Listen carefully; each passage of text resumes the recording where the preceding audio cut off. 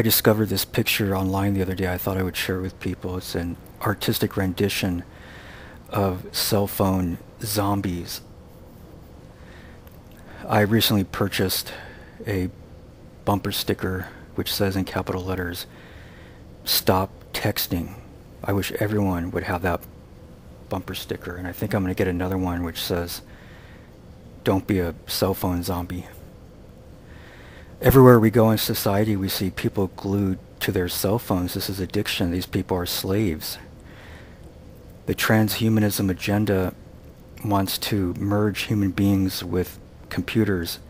These people are being manipulated and conditioned by this agenda. There are several articles online discussing cell phone addiction. And I would say in most of the cases when I see vehicles and there's a passenger, the passenger has his head bowed to his little cell phone idol.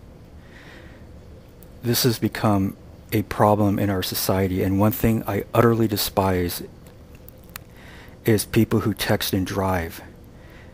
They are impatient and they are being profoundly selfish, endangering the lives of other people, including their own. And they are breaking the law. Take the pledge itcanwait.com. You people need professional help. You need to break free of your addiction. You're slaves. And this is not healthy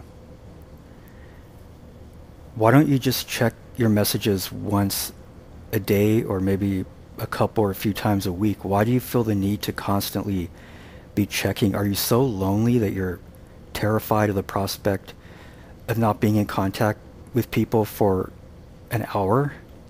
What is it with you people? Everywhere you go, you're glued to your cell phones. This is not good. And I want people to break free of this addiction. So I'm going to keep this video short and I might put a little bit more information below in the description box.